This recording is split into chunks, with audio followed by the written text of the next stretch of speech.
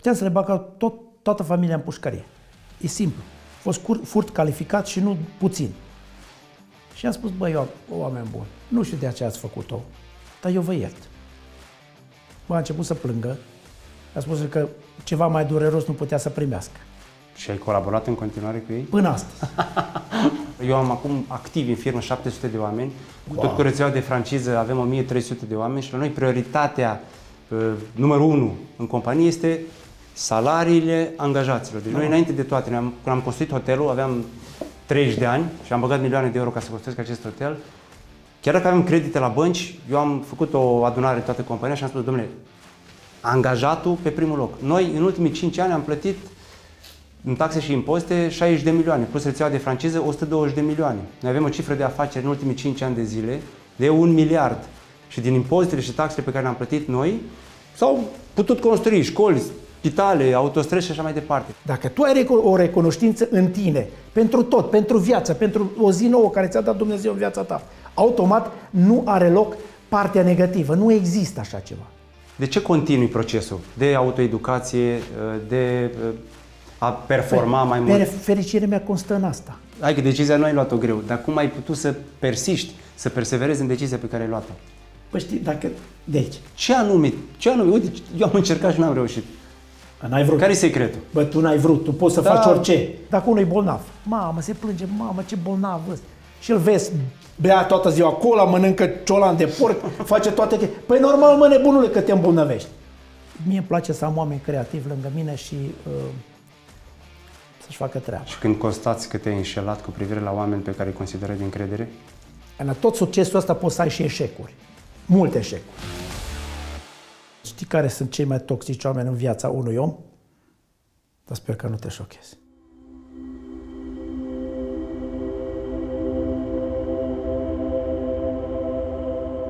Sunt onorat să fii aici și mi-am dorit enorm să reedităm primul episod. Bine venit! Bine v-am găsit și Asta. mulțumesc pentru, pentru invitație, nu mă așteptam. Știi ca, că... să vrei, ca, ca să vrei să facem cu o emisiune cu mine. Știi de ce vreau asta? Pentru că eu reprezint vocea celorlalți. Foarte mulți uh, antreprenori, oameni de afaceri, începători, studenți, elevi mi-au scris mai cheamă o dată pe Maurer pentru că ne inspiră foarte mult. De unde patima asta? De cum, cum reușești să vorbești cu sufletul? Cum reușești să fii atât de entuziasmat când te exprimi? Pentru că reușești să inspiri pe ceilalți. Nu știu, cred că e nativ asta. Eu consider dacă faci ceva și nu o faci cu suflet și patimă, nu știu, la mine, de exemplu, nu cred că aș putea să am rezultate. Cred că de acolo vine asta. Orice fac, uh, o trăiesc și iubesc ceea ce fac. Pentru că majoritatea lucrurilor pe care le fac, vreau să le fac în uh, ajutorul omului, în primul rând, pentru că degeaba o fac doar pentru mine și familia mea. Ne bucurăm noi, 2, 3, 4 persoane, în schimb eu vreau uh, să le aduc bucurie multor oameni în casele lor. Eh, mulți ar fi suspicioși și nu te-ar crede cum un milionar ar fi preocupat de binele celorlalți. De ce ești tu preocupat de binele celorlalți? Eu m-am întrebat de multe ori, păi ok, aș putea să adun mai multă bogăție, să le adun mai multă avere. Ok, cine s-ar bucura despre asta? Eu și familia mea și poate că niște prieteni. În schimb, um, de a da, asta am considerat în, în anii ăștia, Uh, este o satisfacție mult, mult mai mare decât de a primi. Uh, iar uh, eu am investit în ultimele 5-6 ani de zile extrem de mulți bani în dezvoltare, în cercetare, ceea ce foarte puțin lumea o face. Drept dovadă, eu am încercat să atrag niște parteneri pe tema asta și pe aceste, aceste business-uri care le-am demarat. Nimeni nu a venit de alături de mine. Mm-hmm. Eu sunt sigur că Dumnezeu are un plan de ce nu a venit nimeni lângă mine și sunt convins că lucrurile pe care le-am demarat de acum 4-5 ani de zile vor avea un impact uh, semnificativ în societate. Cum te convinge cineva să investești alături de el? Îți mărturisesc că la mine vin zilnic oameni care îmi propun tot felul de dealuri. Și la mine. Pe mulți dintre ei refuz. Uh, da, acum, în ultimul timp, m-am focusat foarte mult pe acest statut de business angel, să pot să finanțez business-uri inteligente care au în spate un plan de afaceri foarte bine structurat. Dar pe tine, cum te convinge cineva să pui banii la bătaie, milioanele la bătaie? Nu trebuie să mă convingă. Prima întrebare este, ceea ce are, dacă are uh, o sustenabilitate în spate, dacă are o chestie reală în spate. Și a doua întrebare, ce ar însemna asta pentru oamenii? Ce ar însemna această investiție? Ce impact ar avea pe societate? În momentul ce eu trag niște concluzii, că asta ar, avea, ar putea să aibă un impact major uh, în societate, eu ca creștin am obligație de a investi acolo. Dacă nu o fac, eu consider că este chiar și un păcat. Pentru că eu nu trăiesc singur pe, pe planeta asta, eu cu familia mea. Biblia spune așa, ceea ce faci pentru semenele tău, îl faci pentru mine, adică pentru Dumnezeu. Și asta este, asta este tot. Dacă vine cineva la mine și are ceva și are intenție curate, în momentul acela eu mă văd obligat de a mă implica în acest domeniu. Păi și cum detectezi această intenție curată? Poate vin, eh, nu știu, cu un business care nu-i eh, de perspectivă și tu crezi eh, cumva că poți să faci un business, un macro business împreună cu el. Cum ai un senzor care păi detectează? Păi Dumnezeu ne-a dat anumită înțelepciune. Mm. Au venit mulți cu niște aberații. Când am intrat un pic pu- puțin în research și am făcut de, de, un mic de, de, de, despre ce este vorba, în momentul ăla îți dai seama dacă are, are, are un potențial dacă, sau dacă nu are un potențial. Da? Uite, de exemplu, ultima, nu ultima, una dintre cele importante lucruri pe care am finanțat este chestia pe energie și acest tip a venit simplu, a venit cu două prototipuri. Când am vedut aceste două prototipuri și am văzut care poate să fie impactul, deci nu, nici nu am avut o soluție de a nu uh, investi. Era clar că o voi face. Și atunci uh, am făcut-o. Cum, concret, ce se va întâmpla cu uh, investiția aceasta? Adică, el a venit cu proiectul, te-a convins și care sunt sumele pe care le vei recupera și ce pronosticuri ai în legătură cu investiția aceasta? Auzi, uh, legat de ce return am, este irelevant. Uh-huh. Pentru că în prima dată mă gândesc care poate să fie impactul. Pentru că a genera sau a venit ceva înapoi este o chestie absolut normală. Ai o chestie uh, organică ce se va întâmpla. Adică eu am o intenție bună, fac o investiție în această intenție bună, această intenție bună este susținută de un impact major în societate și nu ai, nu ai cum să nu-ți vină un return pe chestia asta.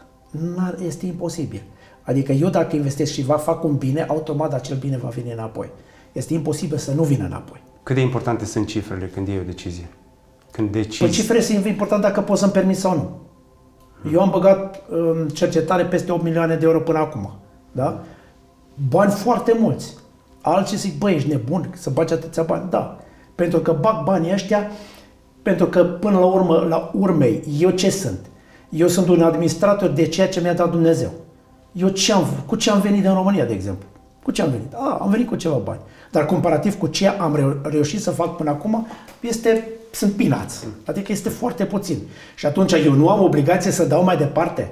Și acest a da mai departe, în primul rând, nu mă duc cu premisa, mamă, mă îmbogățesc pe, pe investiția asta. Nu, nu asta este, uh, uh, sunt intențiile mele, primele intenții. Însă, e și normal că vrei să faci un business, pentru că tu știi exact ca mine că fără bani nu putem schimba lumea.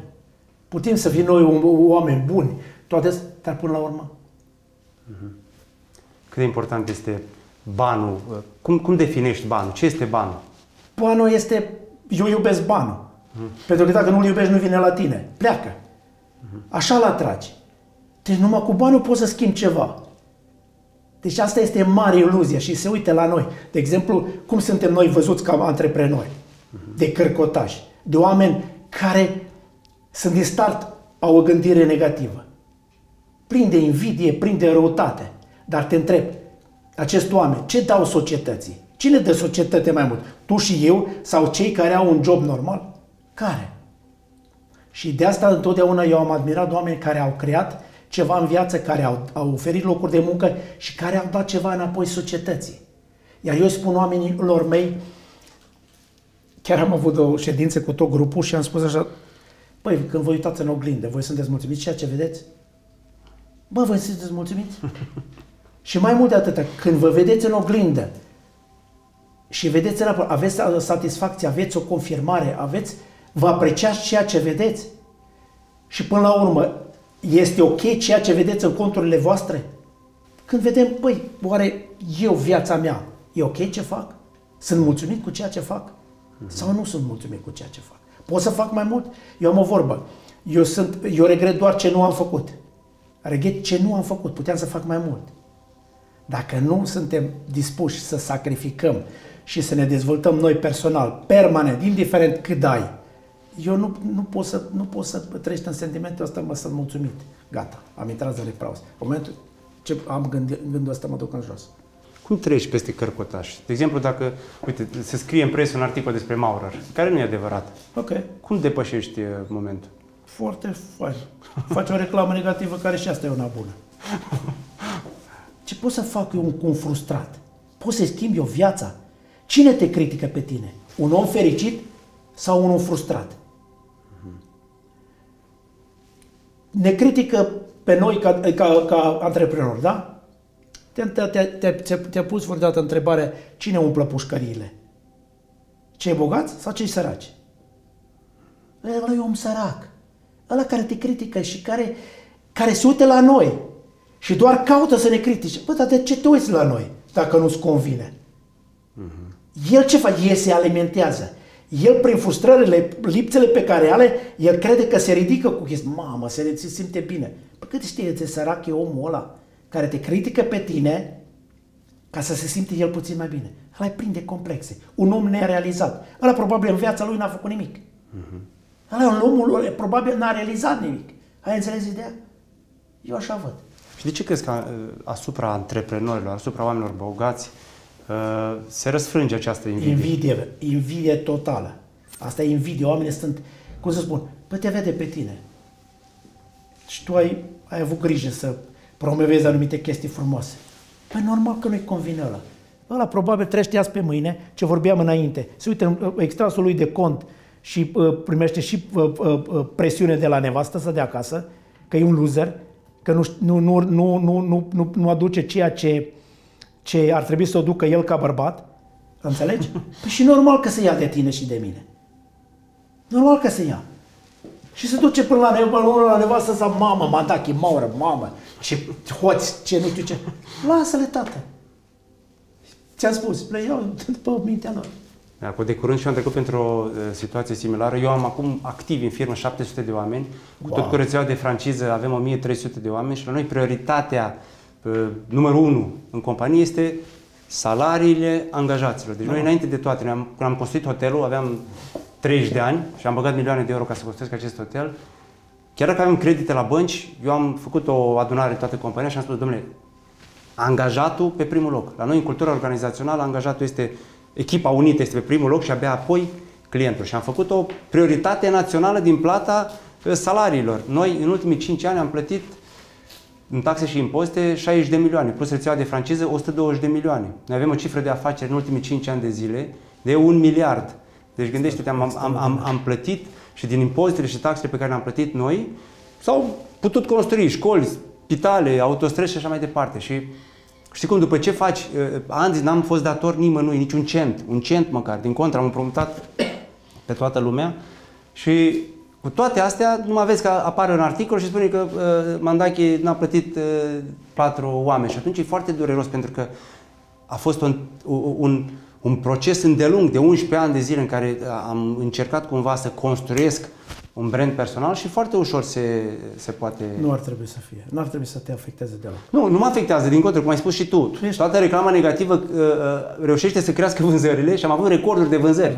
Deci recordul absolut de deci vânzări, tot ce ai spus, idee. Tot ce ai spus tu este absolut curat moral. Dacă tu așa lucrezi, automat Dumnezeu te va binecuvânta și te va ajuta în ceea ce faci. Nu băga în seamă pe ea. Nu băga în seamă. Crezi că, crezi că pe mine nu mă critică, crezi că nu a existat de articol. Dar nu mă interesează. Vine cu un articol, nici nu citesc. Nu mă interesează. Asta le doare cel mai mult. Și cum zice Biblia, le-ai prins cărbunele în cap. Tu înțelegi? Nu reacționează la ea, e, dore, e cel mai dureros. Dacă noi le răspundem lor, ce facem? Alimentăm orgolile lor și frustrările lor. Știi cum, e, e un sentiment într-adevăr. Trebuie să ignor pe toți și m-am călit în ultimii ani, pentru că inițial eu când eram mai, mai tânăr eram și mai vulcanic. Uh, dar ca idee, dacă intru într-un restaurant și iau un suc, îi spun bate pe casa de marcat și îl plătesc cu cardul. Totul este fiscalizat. Dacă, noi suntem singurul lanț de restaurante în care, dacă nu primești bon fiscal, pe loc ți se dă 1000 de lei și scrie mare pe panou. Deci fiscalizarea este absolută. Am intrat în Constanța, în restaurantul nostru, și am dat oamenilor, erau 11 oameni, am luat 11, 11 cola și am spus batele pe casă de marcat. Și cu toate astea, când încerci, parcă atunci când încerci să fii mai corect, atunci uh, apar lucruri nedrepte. Știi Cum îți explici asta? Păi e foarte simplu. Știi de ce? Știi, știi cum nu-i convine lucrul acesta? Diavolului. Dacă merge totul ață, dacă merge totul liniar, frumos, păi înseamnă că nu contezi. În momentul ce vede, vede diavolul că faci lucruri frumoase, ce face? Întotdeauna va încerca să pericliteze munca ta. Întotdeauna. Ascultă-mă, în momentul ce tu nu mai ai problemele astea, înseamnă că nu, înseamnă că nu mai contezi. Sută la mie. Dacă diavolul vede că lucruri vrei să le faci, în, în, în momentul ăla el încearcă, încearcă să bagă coada. Asta e partea sută la mie confirmat. Ce-am aflat care e motivul. Înseamnă astăzi. Nu, serios. Că, nu, știi cum? Păi bă, tu ce spui, ce spui tu este absolut fenomenal. Tu vrei să faci bine, vrei să fii corect. Cui nu-i convine? Păi la ăla e rău. Și el se folosește de oameni răi ca să te denegreze pe tine. Și care e problema? Ce a pățit Iisus pe lumea asta? Ia zi ce a pățit. A fost bagiocorit. Nu ca noi, nu suntem bine. A fost bagiocorit și a fost fără de păcat. Păi noi ne plângem de niște cărcotași. Lasă-le, frate, că au soartă de, de dus. Una grea, rău de tot. Cum crezi că ei, cărcotași, hai să luăm cărcotașii ca uh, factor de analiză, da? da? Cum ar putea evolua totuși? Ok, sunt la nivelul la care contestă, sunt la nivelul la care critică, nu au nicio, să spunem, în momentul zero nu au nicio șansă. Cum ar trebui să evolueze ei ca să se ridice pe, pe uh, treapta socială, să ajungă, uite, bogat, om de afaceri? Niciodată până nu conștientizează că este un om sărac. Niciodată. Dacă el nu conștientizează care problema este la el, nu se va schimba niciodată. Problema de la noi, de la noi pornește. Îți dau un exemplu. Dacă vezi tu unul gras, ăla totdeauna va căuta niște scuze de ce e gras. Bă, dar ce ești gras? Pentru că ai băgat de aici, frate. Bă, de ce ești neîngrijit? Bă, pentru că nu te îngrijești. Dar tu ai văzut ce se întâmplă cu oamenii? Oamenii tot timpul cauză niște scuze. Unul în închisoare niciodată nu se simte vinovat. Tu știi asta? De ce? El nu se caută, caută tot. Părinții mei m-au educat într-un fel. Înțelegi? Băi, scuza este dușmanul numărul unu. Și știi care este dușmanul numărul doi? Tu, eu, dacă ajutăm pe niște oameni, să zicem cu bani. În momentul ce faci, faci un foarte mare rău. Tu nu scoți în, în, din zona lui așa. Tu, scoți, tu poți să-l scoți din zona lui în, în, în, dacă tu îl conștientizezi în ce, în, în ce situație este. Dar poți? Pot, sigur. Absolut. Cum să nu? Ai reușit să emancipezi pe cineva? Ai reușit să-l salvezi pe cineva? Eu am încercat de eu, multe ori și eu, am, am dat kicks. Eu zic că da, dar știți ce spune Biblia? Mergeți să arați, semănați și udați. Dacă crește, nu este treaba ta sau a mea. Ne ne-am făcut datoria. Depinde de Dumnezeu dacă crește. Dacă ăla e dobitoc și nu vrea să se schimbe, păi nu mai este treaba mea. Mi-am făcut datoria de a-i arăta unde e problema. Și credem, tot ce suntem noi, suntem datorită nouă. Datorită nouă suntem. Dumnezeu ne-a dat viața. Dar Dumnezeu nu ne bagă în buzunar. Tot ce ești, ești datorită ție, că tu ți-ai dorit și ai vrut. Păi, revenim la chestia asta. Păi noi am putea zice, bă, dezvoltare personală și chestia asta, a putea să fim atât de îngânfați, nu mai avem noi nevoie, mă, ce vreți voi cu astea. Nu. Fiecare zi este o nouă provocare și o nouă zi de a învăța, de a progresa. Asta e menirea noastră. Și un om care vrea, un om care nu progresează și stagnează, nu există stagnare, el va, va, va merge în jos. E simplu. Și tot ce suntem noi, tot ce suntem noi, suntem datorită nouă. Voinței noastre, gândirea noastră, credinței noastre, tot este datorită nouă. Dacă unul e bolnav, mamă, se plânge, mamă, ce bolnav ăsta. Și îl vezi, bea toată ziua cola, mănâncă ciolan de porc, face toate chestii. Păi normal, mă, nebunule, că te îmbolnăvești. Înțelegi? Deci asta, asta e un rezultat din ceea ce bagă aici. Bagă tu în mașina ta uh, uh, motorinul în loc de benzină sau invers. Ce se întâmplă? Chiar se strică. Păi așa să ne stricăm și noi. Dacă tot îi băgăm în noi ceea ce nu este normal, devenim de acest anormal. Corect sau nu? Ai ajuns la un nivel la care foarte puțini uh, ajung. la o bogăție, la o avere și materială și spirituală, de ce nu te oprești? De ce continui procesul de autoeducație, de a performa mai mult? Fericirea mea constă în asta, de a crea, de a face ceva, de a aduce un plus valoare. Uh, un, uite, de exemplu, avem acum un, un proiect, un concept absolut senzațional care se pretează pe plan mondial. Nu vorbim de partea de, locală, partea națională, nu, pe plan mondial. Și o să, promo- o să, o să demarăm asta în, în ianuarie și credem, am fost la Târgul Internațional de Imobiliare în, la München și oamenii au fost paralizați. Domnule, de ce nu ne-am gândit la asta până acum? Mai ales în contextul în care trăim acum. Uh-huh. Și stai puțin, de-abia începutul. Uh, pentru că suntem loviți de energie, suntem loviți de inflație, suntem loviți de, de, de bânzi la bănci și mai departe. Ce facem noi în, în, în cazurile astea? Mamă, ne punem cenușă în cap, mamă, ce nasoală viața. Nu, eu sunt plin de recunoștință. Recunoștința este baza la or, oricărui, oricărui succes. Dacă tu ești recunoscător, tu nu ai loc de a cârti, de a fi nemulțumit. Dacă tu ai o recunoștință în tine, pentru tot, pentru viață, pentru o zi nouă care ți-a dat Dumnezeu în viața ta, automat nu are loc partea negativă. Nu există așa ceva. Da? Și atunci, uh, cu, cu, cu recunoștința asta în tine, tu nu ai cum să zici, ok, sunt ok, uh, trăiesc viața, mă duc... Uh, uite, de exemplu, uh, am fost, uh, uh, mi-am, mi luat o locuință în Dubai, m-am dus în Dubai, în 9 zile am stat două ore la plajă. Restul am muncit, dar am muncit cu mă, cea mai mare drag. Nu am muncit că a fost o povară. Mai, că nu probleme. Probleme oricum nu sunt. Noi, dacă noi povestim de probleme în țara asta minunată care avem, cu tot ce avem, nu vorbesc de mine, vorbesc de toți oameni, înseamnă că suntem niște corcotași, suntem profund nerecunoscători.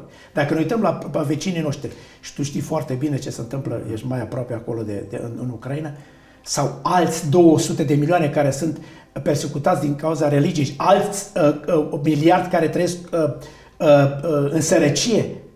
Domnule, eu nu știu dacă se uită Dumnezeu către noi, cum nu ne, nu știu, cum ne vede pe noi. Dacă noi suntem nemulțumiți, dacă noi suntem cărcotași, dacă noi suntem cei care căutăm tot timpul partea negativă. Dacă nu ai ajuns la concluzia uh, vis-a-vis de recunoștință când ai fost bogat sau înainte de a fi bogat? Nu. Ai fost recunoscător și când uh, n-aveai bani? Bineînțeles. Bine. Și a existat acea perioadă în care să fii n-am sărac? Av- n-am avut niciodată o perioadă în care n-am avut bani. Pentru că am început cu 14 ani, 15-16 ani și am muncit și am făcut bani. Cum ai început? M-am dus și am lucrat la administrarea blocurilor, am măturat străzile, am dus la Cosit în Germania, am făcut spațiile verzi. Ce să faci la 16 ani? Acolo am început. Și știi ce este interesant? Această muncă, această trudă, nu știu, e ok uh-huh. cuvântul trudă? Da, da. Nu știu bine românește. Da. Așa, chestiile astea, ai văzut cândva ce s-a întâmplat? Se întoarce binele asta spre, spre tine. Eu când m-am dus și am, am, am lucrat la administrație și aveam un Mercedes uh, uh, la 18 ani, ziceau colegii mei, unde jucam fotbal, bă, dar de unde ai tu banii? Zic, haideți, haideți cu mine. Vă rog, vreți și voi?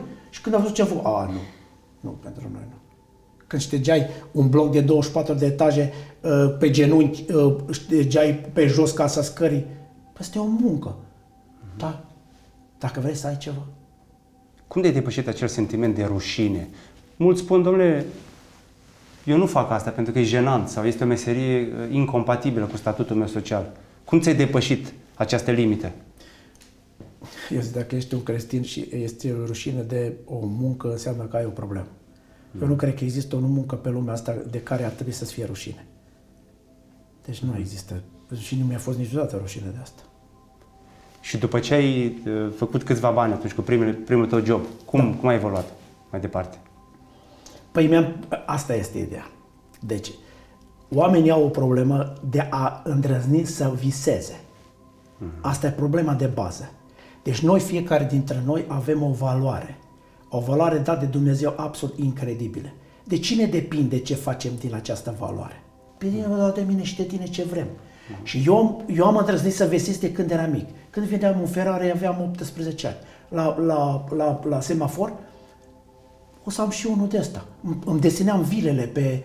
Cum puteam eu? Mm-hmm. O să am, am și vreau să recunosc, până acum, absolut orice vis mi l-am îndeplinit care l-am văzut vreodată. Mai aia este un singur vis care nu spun aici, de o să îndeplinești și asta.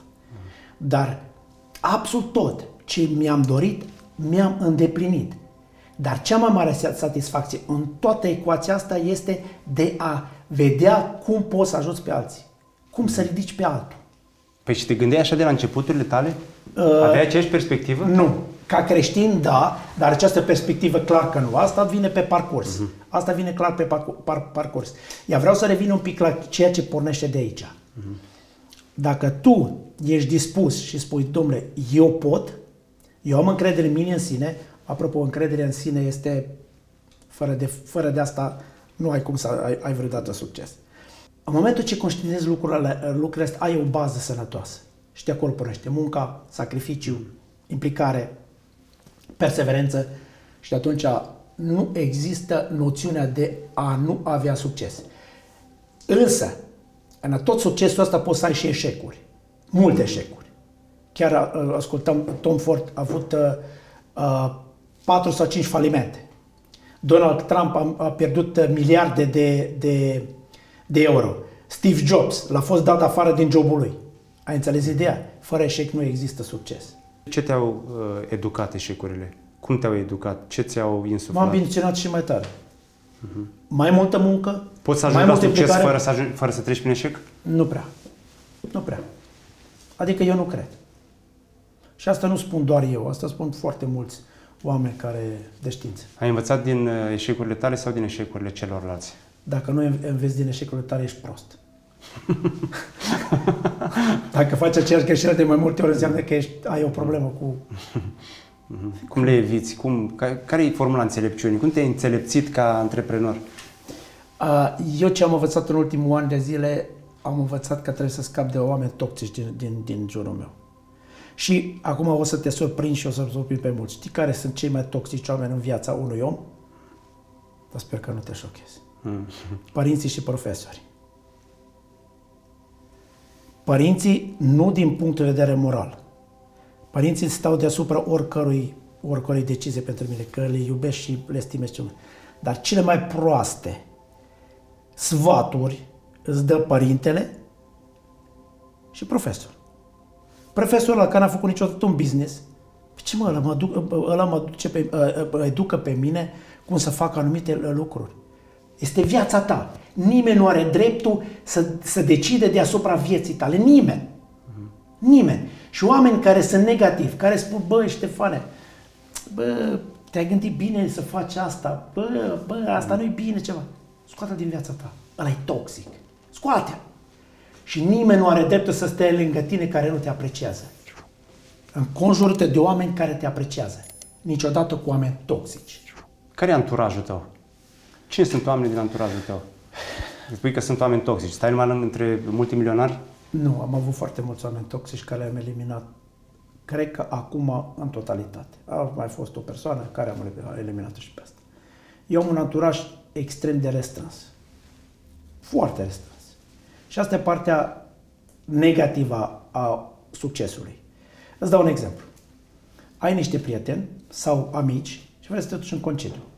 Normal că tu vrei să ai un anumit concediu care au anumite costuri. Înțelegi? Uh-huh. Foarte puțini oameni poate să se ridice la nivelul să facă același concediu. După aceea se simt complexați, cu toate că niciodată nu-i dau nimănui uh, sentimentul ăsta, pentru că sunt extrem de deschis, sunt foarte, foarte aproape uh, de om. Cum arată o vacanță pentru tine? o vacanță pentru mine. Um, îmi place foarte mult să mă, să, să mă relaxez.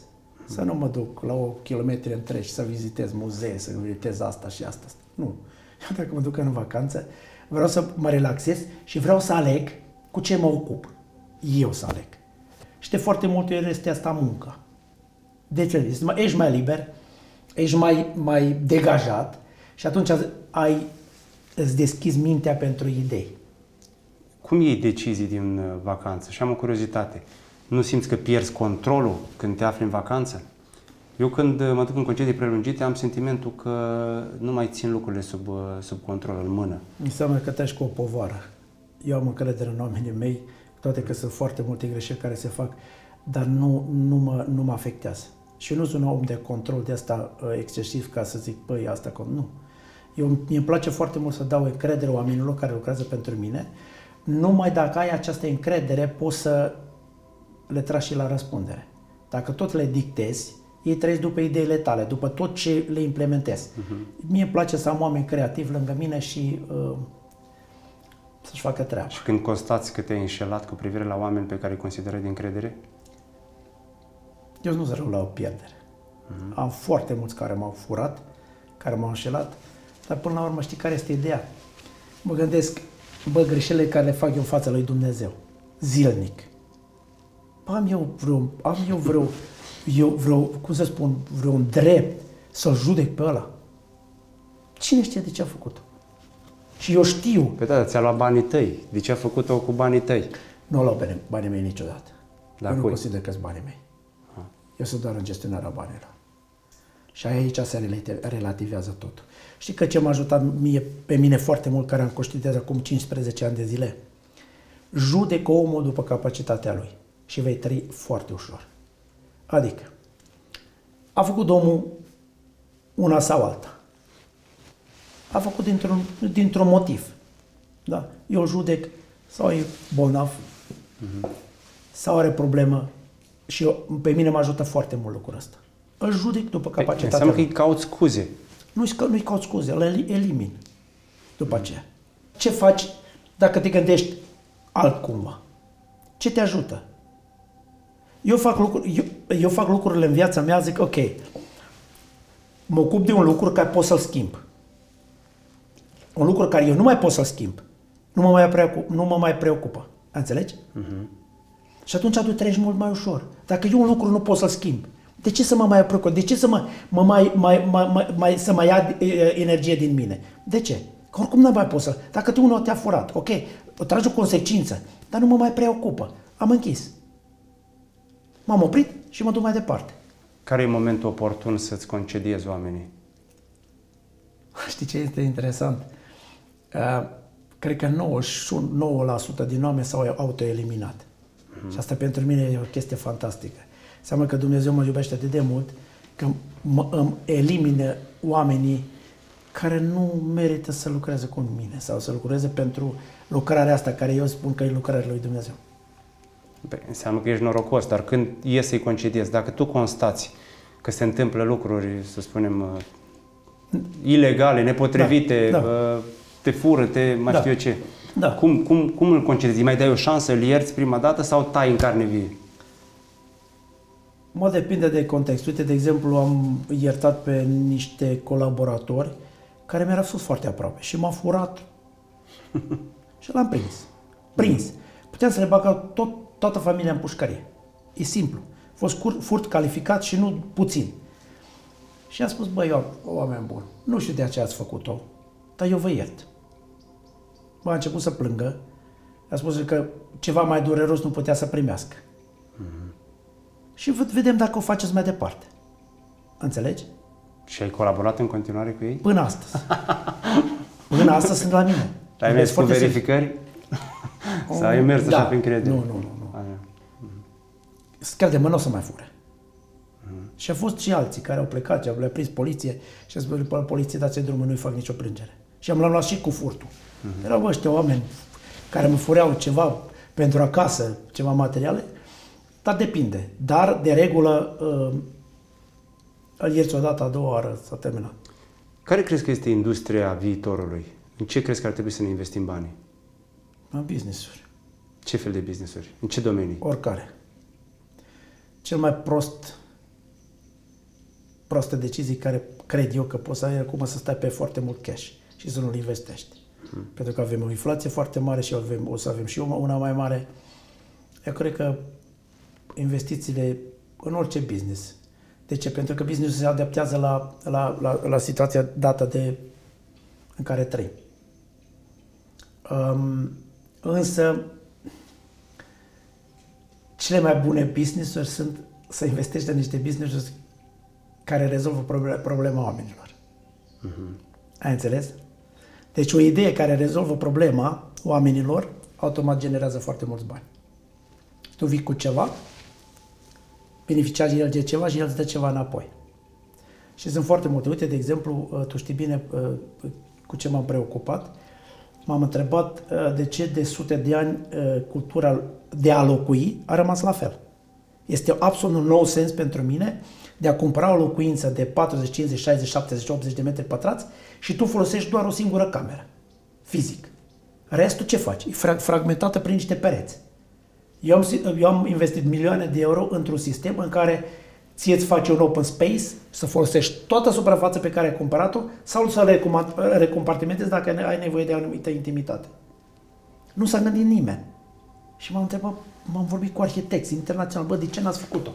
Spune, face așa. Bă, dar nu credeți că ați omis ceva? Mm-hmm. Nu v-ați făcut datoria, nu v-ați făcut meseria cum trebuie. Gândește-te, este absolut un nonsens. Scuză-mă, și oamenii. Băi, o cumpăr ceva, dar ceea ce cumpăr, e ok ce cumpăr? Că fac fasade frumoase, că fac cu chestii frumoase, că fac o menajare, da, domnule, dar tu te îndatorezi unii 30 de ani de a cumpăra ceva ce nu are nevoie. În loc să, să optimizăm ceea ce cumpărăm, o cumpărăm ca așa ne dă piața. Și exact asta este o mare problemă și o chestie morală, consider eu. Și mă bucur că am, am reușit să găsesc o soluție pentru asta. Și sunt 100% sigur că este o chestie divină. Pentru că Dumnezeu zice, bă, ok, Ștefan, nu-i cazul tău, dar oarecare. Bă, de fapt își permite doar 35 de metri pătrați, nu 60. Bă, dar în 35 de metri pătrați îți demonstrezi științific că tu ai aceeași beneficiu ca în aia 60. Pentru că vii cu o soluție. Câte apartamente ai vândut până acum? 11.000 și nu știu cât. 11.000 de apartamente? Peste 11.000, da.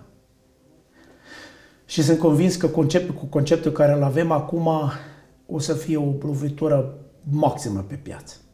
Maximă. Pentru că acum o să avem niște apartamente care se vor plăti singure. Adică? Bună întrebare. Adică. Deci, te întreb pe tine. Două persoane. De ce cumpără două, două camere? răspunde te rog. De ce cumpără două camere? Da. Și, adică un cuplu. De ce își cumpără apartament cu două camere? Da. Pentru că, nu știu, una e sufrageria, una e dormitorul. Ok. De aici începe tâmpenia. Simplu. Ce faci cu dormitorul ziua? Nu-l folosești. Ce faci în, în, în, în, în sufrageria noaptea? Nu folosești. Ok. Suntem atât de proști, scuză-mă, poate, poate că tăiem aia, suntem atât de proști încât, fii atent, părăsim un spațiu mai mare să ne mutăm un spațiu mai mic. Bă, câte prostie! De ce? Din lipsa de educație. Adică eu plec dintr-un spațiu care dau, stau 2-3 ore pe zi, adică sufrageria, și mă mut într-un spațiu de 12 metri pătrați și stau 8 ore. Bă, deștept suntem. Și pentru dau și eu grămadă de bani. Și ce am făcut? Am creat sistemul acesta în care eu îți fac un switch în 50 de secunde, ți-am transformat sufrageria într-un dormitor. Doar pe un buton. Mm. Și nu mai e nevoie de dormitor. Știi ce am făcut cu dormitorul ăla acum?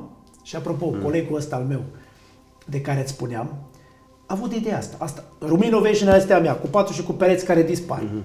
Dar partea asta la alta a fost ideea lui.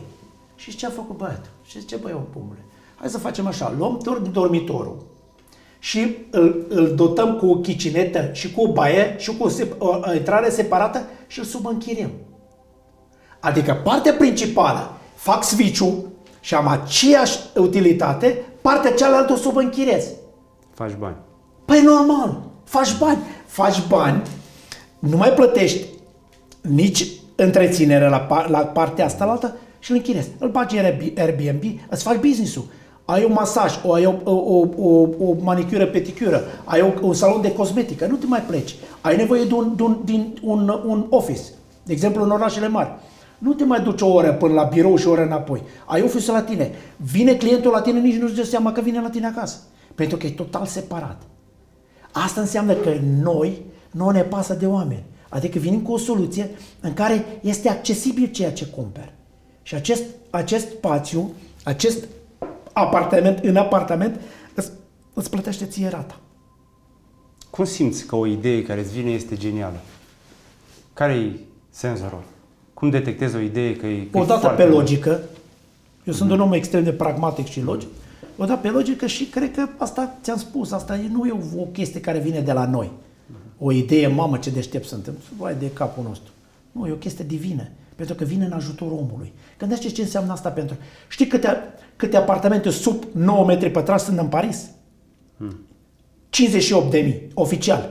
Sub 9 metri pătrați. 9. Apartament. Ce fel de apartament? Păi asta, N-ai nici... În Germania se fac microapartamente acum la 8 metri pătrați. Știi ce înseamnă acest spat matrimonial, matrimonial care pleacă la tavan, ce înseamnă asta pentru această parte? Mană cerească. Pentru că extrem de important în viața unui om și în sănătatea lui este somnul. Uh-huh. Să ai condiții bune de somn. Și asta îi rezolvă problema. Vorbim de lucru, uh, locuințe sociale. Noi mergem acum la guvernul din Germania și spunem și le prezentăm acest concept. Și ce, se face, ce face acest concept? Eu îi demonstrez științific, economic și, uh, și financiar că acest concept, pe acest concept, el poate să cazeze 50% mai mulți oameni. Uh-huh. Vorbim de locuințe sociale. Cu două, două chestii inovative. Impact pe mediu fantastic, impact pe, pe partea de energie fantastic și par, uh, partea de financiar economic și în parte de, de, de spațiu, pentru că nu sunt spații. Nemții sunt atât de dezesperați că construiesc acum 400.000 de locuințe pe an. Eu spun, ok, pe 400.000 de locuințe pe an, voi aveți normal, uh, în mod normal, uh, formula prevede 2,5. Cât înseamnă asta? În jur de un milion de oameni, da? Cu conceptul ăsta cazez un milion jumate. Ai înțeles ideea? Care este impactul? Crezi că asta va fi cea mai importantă afacere ta? Că acum ești canalizat pe imobiliare. Auzi. Ce este important sau nu? Hai să lăsăm asta la șef. Să decid. Hai să lăsăm la șef. Eu ți-am spus, eu nu mă duc să fac chestia asta, mamă, câți bani o să câștig. Că vom câștiga. Gândește dacă vând 100 de paturi, fac 100 de mii. Vând două, fac 200 de mii. Ținta mea este să, să vând minim 10.000 de paturi pe lună în lume. 10.000 de paturi? În lună. Pe lună, uh-huh. în lume.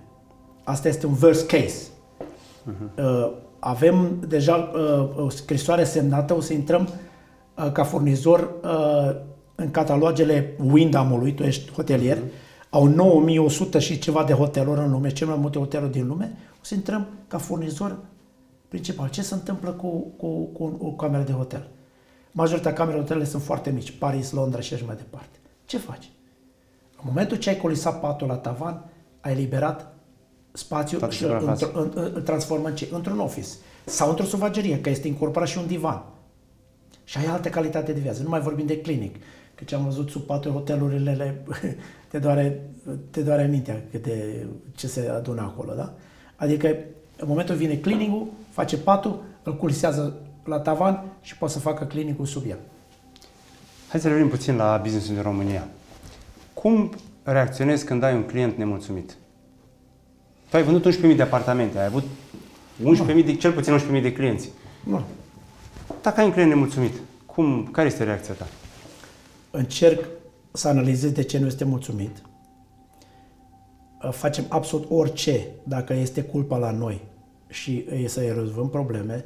Dacă este cărcutaș, îi, îi dăm posibilitatea să se retragă și dăm bani înapoi plus domandă. Mm-hmm. Eu nu vreau să am niște mere stricate în coșul merelor bune. Și atunci, dar luăm ca atare absolut orice critică. Dacă n-am face chestia asta, am, fa- am fi niște ignoranți și nu am fi reușit să vindem 11, peste 11.000 de locuințe. Da, totuși, care e cheia vânzării? Ce, ce anume uh, e mai important aici la Maurer de reușește să se vândă mai multe apartamente decât ceilalți uh, concurenți pe piață? Habar nu.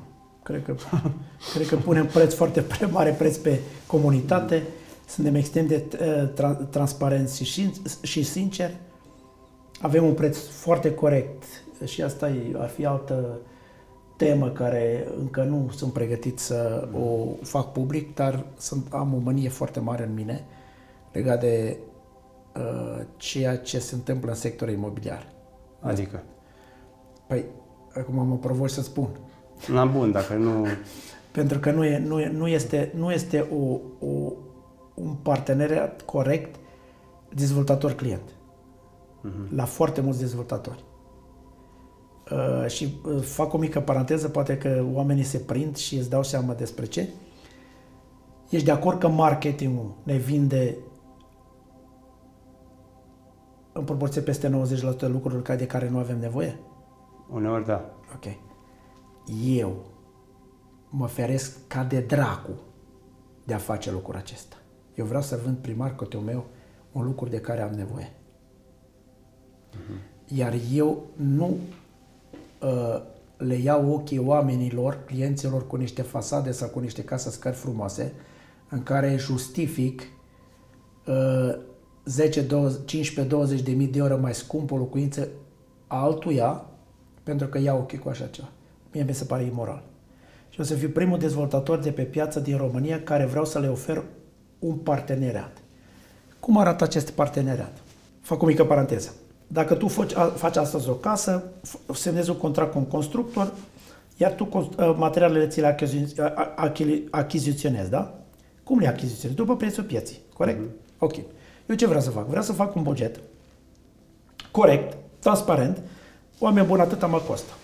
Le pun pe masă atâta mă costă. Adaug sume comerciale este asta.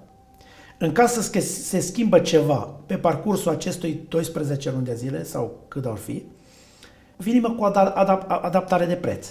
Dar eu din start îți demonstrez că eu nu mi-au o marjă fantastică doar să mă acoper pe mine la anumite fluctuații de, de materiale. Uh-huh. Și până la urmă, asta va fi un win-win pentru toată lumea. De ce? Eu ca dezvoltator sunt super transparent, îi arăt despre ce e vorba. În caz că se scumpește ceva, îi arăt și poate să verifice oricând, iar crede-mă, clientul va câștiga enorm de mult după acest sistem. Și o să fiu, o să fiu primul în România care face lucrul acesta. Foarte transparent. Eu ăsta, adausul comercial ăsta, tu îl accepti sau nu îl accepti, dar crede-mă, știi care va fi discrepanța între ceea ce vreau să promovez și ceea ce este pe piață? Hmm. Între 3 și 500 de euro, 600 de euro pe metru pătrat. Nu fă tu calcule ce înseamnă între 3 și 600 de euro pe metru pătrat, ă, ce înseamnă asta la bani. Dar care e obiectivul tot, totuși? Nu știu, pe 5 ani de zile, ce-ți dorești? Obiect, obiectivul meu este doar să implementez lucrurile pe care le am în slujba oamenilor. Pe Dacă bun, da, oamenii da, nu cred lucrul ăsta, e treaba lor. Cărcotaje care, care contestă asta, e treaba lor. Eu spun ceea ce am pe inima mea. Ești vegan? Sunt vegan de 5 ani și în, în, în august am avut 5 ani. dar cum ai luat decizia? Nu, cum, hai că decizia nu ai luat-o greu, dar cum ai putut să persiști, să perseverezi în decizia pe care ai luat-o? Păi știi, dacă... Deci... Ce anume? Ce anume? Uite, eu am încercat și n-am reușit. N-ai vrut. Care e secretul? Bă, tu n-ai vrut. Tu poți să da. faci orice. Ești un atât de puternic da. și poți să o faci orice. Dar n-ai vrut. Aici mi-a fost greu. Păi nu ți-a fost greu, n-ai vrut. N-am vrut suficient de mult. Cum ai făcut de ai vrut? Care au fost ancorile? De ce te-ai agățat? Deci, Cum odată, ai reușit? Odată sunt foarte convins că este mult mai sănătos această, acest mod de viață și în al doilea rând în momentul ce spui, bă, uite, ceea ce mănânc este sănătos și dacă nu e așa bun la gust, bă, parcă, parcă, parcă cum să spun, o mănânci cu drag. Că știi că îți face ție bine. Ai înțeles? Deci cam acolo, bine, am și un anturaj, sora mea e de 30 de ani vegan, uh, din mediul adventist, mulți sunt vegetarian vegan și până acum mi-a fost bine. Am mult mai vital, nu mai am nevoie de atâta somn, nu, mai, nu mă mai ia somnul pe la birou, e, e o schimbare faină. Bine, asta e o parte. Îți trebuie mișcare fizică uh, adecvată, îți trebuie aer, aer, aer curat, îți trebuie uh, uh somnul. Eu fiecare noapte eu dorm 8 ore. Uh-huh. Eu, indiferent ce ar fi. Eu dacă am ceva care mă împoverează, mă rog și do- dormind, rugându-mă, și ce linișteam. Adică forța rugăciunii da, este fantastic. te ajută. Da, bineînțeles. Și încă ceva. Dacă noi avem o problemă, asta le spun la mulți, și se plâng. Băi, deci pe mine mă distrează chiar ăștia plâncăcioși. Că mi-e milă cumva de ei cât de, cât de săraci sufletește. Și spun, mă, ok, ai, ai o problemă. Ia o scală de, scală de, uh, scală de 1 la 10. Și spunem așa, 10 a murit un copil sau un partener. Cel mai grav. Uh-huh. 9, nu știu ce. Pe unde e problema ta, mă? Probabil undeva la 1 și 2, asta e o problemă. Ai înțeles? Uh-huh. Totul se relativează dacă conștientizezi lucrul acesta. Se relativează totul. Puneți, mă, probleme tale pe o scară 1 la 10. Și ia cel mai rău. Uite, ucrainienii. Acolo e la 10. Înțelegi? Și atunci are, se relativează orice problemă. Cum îți motivezi oamenii? Cum ești ca lider? Se vede că ai o forță trebuie foarte să mare. întreb pe ei, nu pe mine. Dar cum reușești să-ți impui punctul de vedere? Ai o putere așa mare în tine? Ești vocal sau îi inspiri prin alte uh, elemente? Auzi, poți să fii vocal dacă ești prost. Degeaba vrei să-l convingi. tu convingere, autoritatea ți-o câștigi mm. și competența ți-o câștigi. Eu pot să url cât vreau și când va zice, bă, dar ăsta e nebun. Păi url așa, fără, fără consistență, fără argumente, fără... Înțelegi? Deci respectul ți-l câștigi prin? Prin competențe. De foarte multe ori au fost ședințe, ședințe și am intrat și eu peste el în ședință și se zbăteau, se frământau. și mi-a părut ciudat. În două, trei clipe i-am dat rez- uh, uh, soluția și stați la mine speriați. Bă, de unde a scos ăsta? Ai înțeles? E și o chestie de... Te și ajută poziția. De ce? Păi și dacă spun o prostie? Păi prostia pe pielea mea. Dacă ăla spune o prostie, îi, îi, îi, îi prinde frică. Mm-hmm. Înțelegi? Asta e, oricum, frica este cea mai mare problemă omului. De ce, de ce nu se fac oamenii antreprenori? Au un job, mamă, ce siguranță am. Cea mai mare prostie. Cea mai puțină siguranță este jobul. Cea mai sigură siguranță este să fii antreprenor și să creezi niște active care îți dă o siguranță și îți dă o, o liniște uh, financiară. Înțelegi? Și de asta le spun, măi fraților, măi oameni buni, în momentul ăsta ce, ce, ce se întâmplă? Eu îți dau niște bani, tu îmi dai niște timp. Tu dai timpul tău. Bă, dar voi ați văzut că eu am sute de oameni care lucrează pentru mine. Asta înseamnă că eu le dau la ea bani și fiecare dintre ei îmi dă timpul și timpul ce? Generează plus valoare. Adică se scalează plusul valoare. Dar nu îndrăznesc. De ce? Că le este frică. Nu reușesc și nu le este frică să iasă din zona de confort.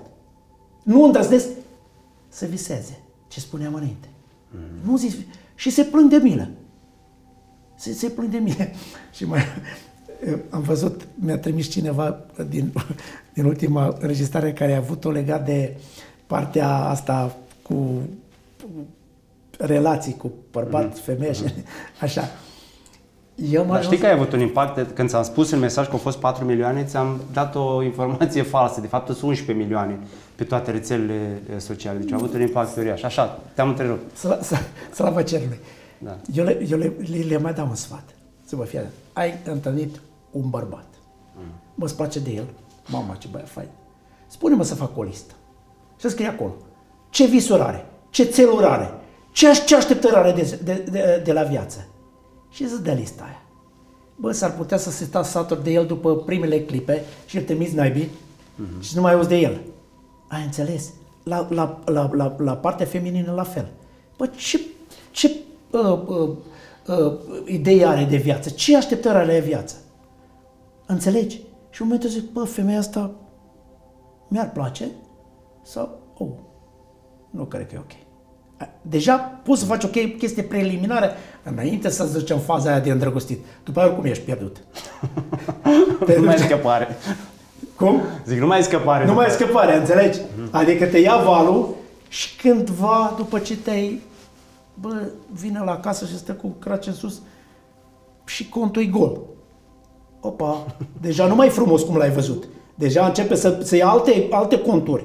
Din asta cu, mm-hmm. știi? Simon, prietenul meu, Andrei, cu care realizez toate aceste podcasturi minunate, vrea să ajungă pe cele mai înalte culme ale antreprenoriatului. Da. Lucrăm împreună, colaborăm de uh, câțiva ani de zile. Da. Ca, ce ar trebui să facă el acum ca să se ducă în sus ca o rachetă? Eu nu am reușit să-l uh, inspir să ajungă la milioane de euro până acum? Asta cu uh, a merge sus ca o rachetă este una, e o chestie relativă. În primul rând trebuie să-și dorească foarte, foarte mult să ajungă sus. Eu cred că își dorește. Ok, dacă își dorește... Sau vorbesc mun- că numele tău își dorește? Muncă, muncă, muncă multe, cap, deci... multe, multe și, și perseverență. Uh-huh. Pentru că dacă ești preocupat în permanent să crești, ce spuneam, dezvoltare personală, automat o să vină idei și alte lucruri și nu există să nu ajungă acolo. Nu există. Ce e mai important? Munca sau munca inteligentă? Auzi, dacă, Pentru că dacă mulți- muștești ca un prost și ăla dacă dă la sapă, muncește mult. Dar nu-și dorește mai mult. Nu-și dorește mai mult. E vorba, mă, ce-mi doresc eu. Înțelegi? El poate să facă, el, în momentul ce ești preocupat, mă, vreau să ajung mai mult, automat ai o grămadă de chestii în cap și autom, automat vine o, o grămadă de oportunități prin care tu poți să ajungi, ajungi sus. Dar aici începe totul. Munca după aceea, încredere în sine. Mă, eu o să pot. Dacă tot timpul, bă, dar oare pot, oare nu știu ce, în momentul ăsta s-a terminat. Nu. Acea încredere în sine. O să pot, eu mă respect pe mine și am capacitatea aia, cred în capacitatea mea de a crește și oportunitățile automat vor veni. Nu există să nu fie vine. Toată piața asta e mare, e virgi, virgină, mm-hmm. în care avem o grămadă, fiecare zi avem oportunitate. Mm-hmm. Vine criza, va, ai de mine, vine. Băi, fraților, atâta oportunități sunt în criza asta, mama mea. Deci, incredibil câte oportunități o să avem. Se va schimba foarte multe lucruri. Pică, o, pică o, să zicem, o industrie. Dar apare alta. Uite, în Germania, îți dau un exemplu, lipsesc aproape 2 milioane de muncitori. Uh-huh. Știi care este un business extraordinar în momentul ăsta? E 100, 2, 3, 1000 de oameni și îl duci în Germania. Știi cât durează până le plasezi în piață? O lună de zile. Și cât câștigi după unul? 1000 de euro. Un business absolut incredibil. Poți să, poți să faci milioane în cel mai scurt timp. Însă, un business care crește organic, nu ai cum să ajungi milionar înainte de 4, între 4 și 7 ani de zile. De ce? Așa, e, așa arată, arată știința și așa a- e- arată uh, experiența oamenilor care ajung acolo. Dar primii patru ani, de- de ce sunt un, uh, joca o paranteză în calea milionarilor? De ce, de ce trebuie să treacă prin aceste, prin aceste, Pentru- prin aceste procese și aceste provocări a Nu. primilor patru ani? În patru ani te pregătești tu pre, prima dată pe tine. Tu te pregătești pe tine, ești pregătit de toate provocările alea, ești călit cumva de toate problemele care le-ai întimi- întâmpinat de acest, în acest timp și atunci Dumnezeu îți va da ca să poți duce. De ce oamenii, unor oameni, Dumnezeu nu le alege? De bă, de ce te-a ales pe tine? Ți-ai pus de întrebare de ce te-a ales pe tine? Ia zi, de ce te-a ales Dumnezeu pe tine să faci ce ai făcut și ce faci? Nu știu, n-am un răspuns. Păi cum n-ai răspuns, mă? Care e Păi răspunsul? cum? Pentru că poți să Zi tu duci. ca să-l am. Păi degeaba ei un loser mă care nu poate să ducă. Te ales pe tine că ești puternic. E simplu. Toată tipologia ta, gândirea ta, ești puternic. Păi dacă îl iei pe unul, ăla, în toată povara aia care ai avut-o tu, l-a terminat. Dumnezeu nu vrea să-l termine pe ăla, pentru că este copilul lui. Ai înțeles? Deci nu poți, ale, Dumnezeu nu alege un om slab să ducă lucruri care le duci tu.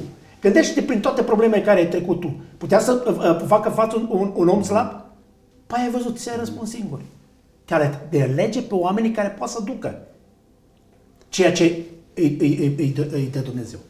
Crezi că o femeie are aceeași șansă ca un bărbat să ajungă un antreprenor de succes? Normal. Dacă e deșteaptă, o să ajungă și mai repede. Care crezi că Ca, e une, diferența? ca niște aturi uh, care noi nu le avem. Depinde și de business, să zicem. Crezi în egalitate între bărbați și femei cum- în zona aceasta a antreprenorului? Mă, nu cred în asta. Aha. Pentru că nu zice Biblia asta. Dar ence- emanciparea asta a dus-o cu oare, oarecum acolo și spun, și mai repet odată, pentru mine, dar sub nicio formă este negativ, să spun eu, acum este sexul mai slab. Așa a fost creat de Dumnezeu. Noi, bărbații, trebuie să le dăm valoare. Asta este datoria noastră. De a ține o femeie să o facem fericită. Asta este. Uite, de exemplu, eu dacă ofer mult și dau mult femeii, uh, soției mele, da? Sau dacă îi dai tu mult unui om, știi care e singura datorie care are față de tine? Singura datorie care are față de tine. Dacă eu îți fac ție un bine, să zicem, știi care este o singură așteptare la adresa ta? Care? Să fii fericit. Ai înțeles? Eu ce-i dau unei femei, unui om, eu nu vreau altceva. Eu, nu, eu îi dau necondiționat, îl ajut necondiționat. Am o singură pretenție. Să-i îmbunătățesc viața, să-l văd mai fericit ca înainte.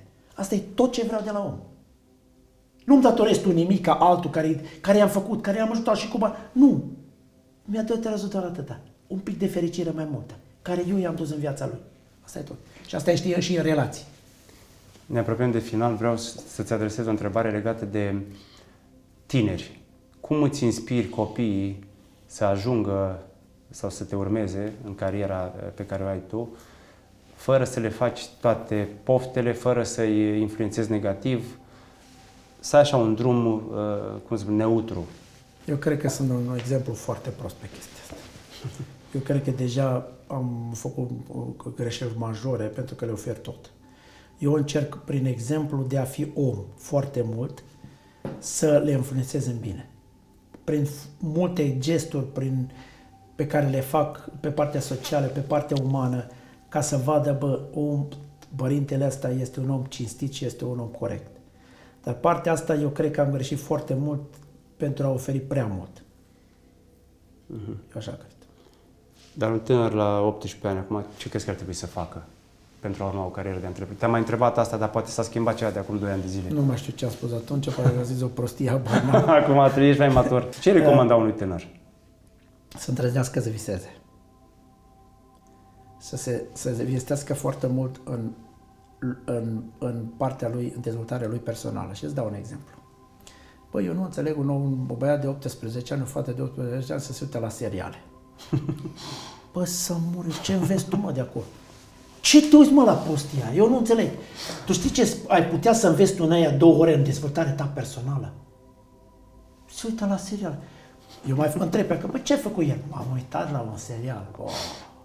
Pe mine zici că îmi dă în cap. Uh-huh. Nu poți să tu să te dezvolți stând la un serial. Da, mai trebuie și o distracție. Bă, da, aici e o mare problemă.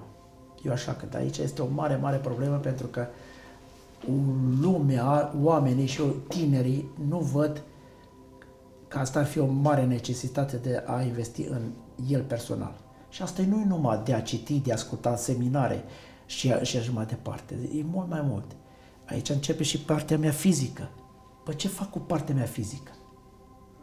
Îmi bat joc de trupul meu care mi l-a dat Dumnezeu sau, sau îl îngrijesc. Îmi bat joc de mintea mea. Păi dacă, dacă bag în mintea mea știrile, ce iese din mintea mea? Partea negativă, nu? Însă dacă o alimentez cu ceva sănătos, ce iese? Lucruri minunate. Asta iese din noi. Tot ce băgăm în noi, asta iese din noi. Și dacă băgăm lucruri, de asta, de exemplu, eu nu mă uit, nu mă uit de ani de zile, nu mă uit la știri, pentru că e o chestie toxică care, până la urmă, cu ce ne alimentăm datorită ratingului care se cer uh, ca să facă tot o chestie de comercială, uh, ce fac? Breaking news. Mamă, când vezi breaking news, mamă, ce urmează acolo. Ce urmează, frate? și cred că foarte multe lucruri sunt manipulative acolo și nu, nu sfătuiesc pe nimeni să se încarce cu lucrurile astea. Și ultima întrebare. Am vorbit despre tânăr de 18 ani, dar despre un om la 40-50 de ani care vrea să se reinventeze, dar a fost cu job, a fost funcționar, nu a fost antreprenor. Are vreo șansă? Nu există nicio limită de, de, de vârstă pentru asta. Nici o limită de vârstă. Și spun încă ceva. Atâta timp ce trăim, ar trebui să ne punem țelul de a crea, de a munci. Să nu ne punem niciodată, și dacă te-ai pensionat. Păi în momentul ce te-ai pensionat și spui că nu mai vrei să faci nimic, știi ce înseamnă? Te sclerozezi. Se termină. Te duci. Nu. Mai departe. Asta îți dă putere. Asta îți dă speranță. Asta, asta îți dă bucurie. Asta îți dă satisfacție. Să faci ceva. Să creezi. Înțelegi? Să creezi. Ideile noastre pe care le creăm, creăm asta, asta vine în rezolvarea problemelor. O ai tu o idee bună. Asta înseamnă că rezolvi multe probleme altora. Și ca știi care e rezultatul fain? Facem bani. Pentru că dacă zicem noi, Doamne, ce altruist sunt, că vreau să fac numai binele, mincinos. Din start. Nu. Vreau să fac bine, vreau să fac bani, pentru că cu banii aia pot să fac și mai mult bine. Nu așa funcționează. Simon, tot am vorbit despre visuri și vreau să-ți eh, fac cadou caietul visurilor, un proiect la care lucrez de foarte mult timp. Prima schiță am făcut-o acum 20 de ani, dar între timp eh, s-a transformat într-un obiect care educă, motivează și inspiră. Caietul visurilor. Tu ești un visător și ne inspiri pe toți. Îți mulțumesc din suflet și îți fac cadou acest caiet. Dar mai vreau să te întreb și eu ceva. Da. Mulțumesc mult de tot. Uh, Trebuie să-ți, lip, să-ți lipești visuri noi. Da.